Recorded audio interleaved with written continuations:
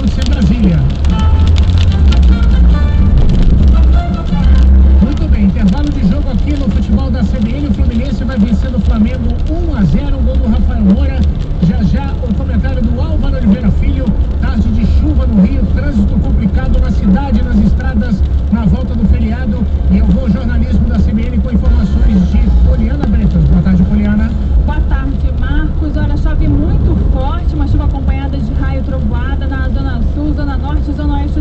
du point